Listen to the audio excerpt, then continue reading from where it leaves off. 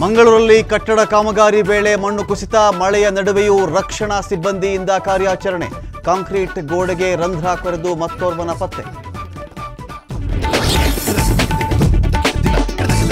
ಎರಡು ತಿಂಗಳಿಂದ ಅಧಿಕೃತ ಜಿಎಸ್ಟಿ ಡೇಟಾ ಬಿಡುಗಡೆ ನಿಲ್ಲಿಸಿದ ಕೇಂದ್ರ ಸರ್ಕಾರ.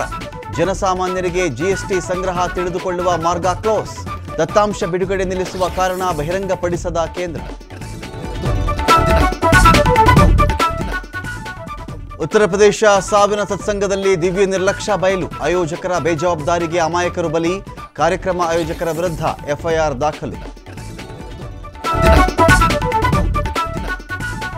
ಮತ್ತೆ ಜೈಲು ಪಾಲಾದ ಎಂಎಲ್ಸಿ ಸೂರಜ್ ರೇವಣ್ಣ, ಜುಲೈ ಹದಿನೆಂಟರವರೆಗೆ ನ್ಯಾಯಾಂಗ ಬಂಧನಕ್ಕೆ ನೀಡಿ ಕೋರ್ಟ್ ಆದೇಶ. ಜಾಮೀನು ಅರ್ಜಿ ವಿಚಾರಣೆ ನಾಳೆಗೆ ಮುಂದೂಡಿಕೆ.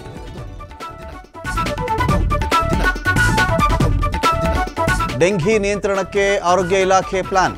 ಖಾಸಗಿ ಆಸ್ಪತ್ರೆಗಳಲ್ಲಿ ದರ ನಿಗದಿ ಮಾಡಿ ಸರ್ಕಾರಕ್ಕೆ ಪ್ರಸ್ತಾವನೆ ಹಿಂದೆ ಸುತ್ತೋಲೆ ಹೊರಡಿಸುವ ಸಾಧ್ಯತೆ.